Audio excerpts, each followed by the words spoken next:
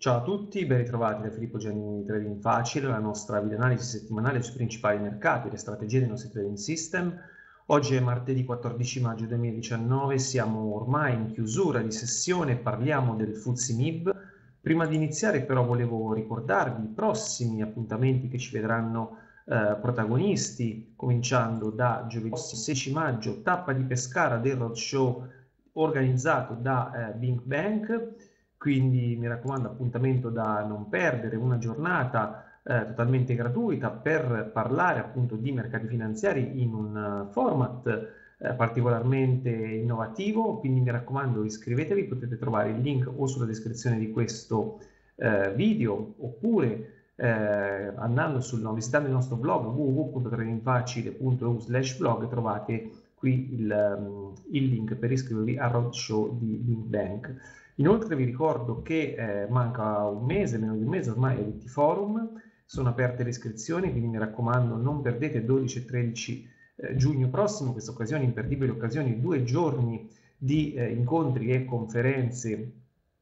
anche qui ehm, totalmente, giornate totalmente eh, gratuite, quindi per parlare di eh, mercati finanziari, insomma migliorare appunto la propria formazione in materia. Quindi andiamo sul grafico del eh, FTSE MIB. Abbiamo osservato nel corso delle ultime sessioni una correzione particolarmente significativa per quanto eh, riguarda appunto il principale listino di eh, Piazza Affari. Se vi ricordate appunto ci eravamo lasciati con il mercato che eh, stava facendo fatica a eh, superare quota 21.500 punti. Se vi ricordate appunto vi segnalavo appunto come indizio di una probabile, probabile inizio di una correzione proprio quello che era stato il respingimento di tali livelli associato a quelli che erano stati i volumi più alti delle ultime due settimane. Quindi già un primo indizio, insomma, poteva essere, eh, diciamo, venire, venire interpretato in questa maniera, analizzando l'andamento eh, sia de dei prezzi quanto eh, dei volumi. Successivamente abbiamo avuto a che fare con quella che è stata una dinamica di prezzo particolarmente significativa e eh, se vi ricordate anche qui avevo segnalato eh, appunto quest'area come potenziale area di eh, riacquisto dove cercare dei pattern a sostegno di quella che poteva essere un'ipotetica ripresa del trend long, però se osservate quelli che sono stati appunto le, quella che è stata in particolare la dinamica di prezzo di questi due giorni, quindi nei quali il mercato ha scambiato su eh, area 20.000 eh, tra area 20.500 e 20.750, vedete che non c'è stato un segnale appunto di inversione al rialzo, ma anzi abbiamo assistito ad una candela eh, resistiva, quindi una candela appunto che sembrava lasciar presagire una possibile inversione, tuttavia non confermata né la sessione successiva, caratterizzata, lo vedete qui, da, da una candela eh, inside, quindi a range ristretto, e di contro da un successivo break dei minimi che quindi ci ha segnalato come la pressione dei venditori sia eh, ancora alta eh, in questo momento. E quindi appunto, ecco, ripeto, non ci sono al momento eh, i segnali appunto di una, di una ripresa del, degli acquisti, ma anzi questa, proprio questa dinamica su quello che è un livello particolarmente eh, significativo a mio avviso, ossia la rottura del supporto di 20.500 punti confermata ieri in close, alimenta ora più di un dubbio su quella che eh, potrebbe essere la prossima eh, dinamica eh, di prezzo, sempre in ottica rialzista. Perché? Perché a mio avviso eh, diciamo, il, il, mercato con questa mossa ha dimostrato che, eh, ripeto, la pressione in vendita è, è alta e quindi nonostante diciamo, la dinamica odierna caratterizzata da questo possibile pattern anch'esso rialzista di tipo Arami, segnale di inversione di tipo non primario quanto piuttosto secondario in base appunto ai dettami dell'analisi tecnica, però ritengo che eh, a mio avviso anche qualora insomma, ci fosse una effettiva eh, reazione da parte del mercato, quindi qualora ci sia un,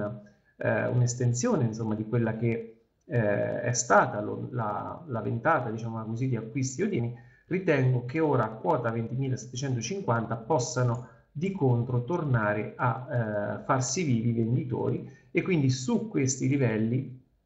possano tornare eh, a, ehm, diciamo, a manifestarsi sul mercato dei venditori per quella che potrebbe essere invece una prossima ondata eh, di vendite perché? Perché, ripeto, abbiamo eh, più di un indizio insomma, che ci fa propendere come ora lo scenario sia eh, cambiato. Se eh, facciamo uno zoom out su quella che è una dinamica di prezzo un pochino più alta, qui diciamo, ecco, ve l'ho cercato di schematizzarla diciamo, con questo rettangolo e questo ellisse, il mercato, lo vedete qui, ha completato quello che è un modello cap with candle eh, rovesciato, modello che in genere è un modello di eh, accumulazione, eh, perché lo troviamo ai minimi del mercato, più difficile trovarlo ai massimi del mercato come modello di distribuzione, però in questo caso modello completato con la rottura eh, di quota, anche qui 20.500 punti,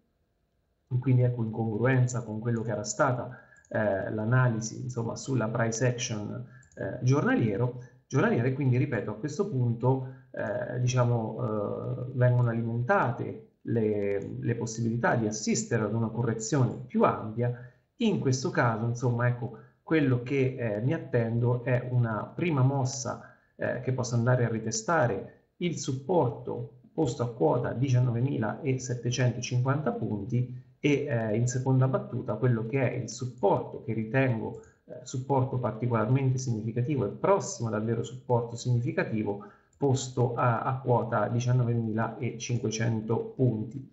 Eh, per vedere appunto invece di contro un mercato che eh, diciamo cercherà di eh, recuperare terreno, quindi per eh, avere insomma una qualche, alimentare una qualche speranza appunto di ripresa appunto del, del, trend, bisognerà comunque sia per forza di cose avere innanzitutto un recupero di quota 20.800 punti, dopodiché insomma sul successivo pullback dovremmo osservare importanti acquisti in area 20.500 punti, quindi eh, avremo bisogno di vedere una mossa di prezzo caratterizzata da acquisti significativi in area 20.500 punti per andare ad invalidare quello che è lo scenario attuale che, ripeto, vede eh, diciamo, l'indice italiano in difficoltà crescente. Andiamo adesso, come al solito, a commentare eh, alcune operazioni svolte dai nostri trading system nel corso delle, delle ultime sessioni. Eh, in particolare quella che voglio farvi vedere è la prima operazione aperta appunto nella giornata eh, di ieri in apertura proprio sul break di quota 20.440 punti, quindi come eh, insomma ecco sapete vi invito sempre a, eh, ormai l'avrete capito, che ehm, diciamo sul, per quanto riguarda il trading sugli indici eh, azionari, le prime ore, in particolare la prima ora, eh, ha sempre un forte impatto su quello che è il resto della seduta. In questo caso l'algoritmo individua appunto un segnale short proprio sulla rottura di questo supporto effettuato durante la prima ora di contrattazione. La posizione in questo caso viene eh, mantenuta eh, overnight e eh, effettuiamo appunto la ricopertura della nostra posizione eh, nella giornata appunto del 14 di maggio, quindi domani successivo a quota 20.295, appunto su questa apertura, la vedete qui, il lap up da parte del mercato. Eh, anche qui eh, operazioni da parte di un differente trading system, anche qui abbiamo sfruttato come una prima operazione la dinamica di prezzo favorevole eh, appunto dal lato short, quindi aprendo, eh, entrando in vendita a quota 20.400 punti. In questo caso siamo usciti in chiusura di sessione cash a quota 20.185, mentre nella eh, giornata appunto odierna abbiamo provato a rientrare al mercato eh, lato short su quella che è stata la dinamica anche qui dei primi minuti di contrattazione. Vedete come però il mercato ha eh, fin da subito, fin dalle prime battute, mostrato appunto volontà di eh, effettuare acquisti in questa, in questa, sessione e quindi abbiamo preso un, un, piccolo stop e siamo stati buttati fuori dal mercato, in questo caso eh, appunto con, tuttavia con una perdita limitata di 10 punti. Le ultime operazioni che vediamo, anche qui prima operazione molto simile da parte di un, ancora un altro, un altro trading system diverso, anche qui stessa eh, dinamica, eh, qui entriamo un pochino più in ritardo al 12.25 a quota 20.330, chiaramente in vendita, mentre in questo caso però l'osservazione appunto di un time frame differente ci permette di entrare nella sessione appunto del 14 maggio alle 10.15 lato long questa volta sfruttando quella che è già una eh, direzione appunto eh, in, in, un qualche modo definita da parte del mercato in ottica long e quindi in questo caso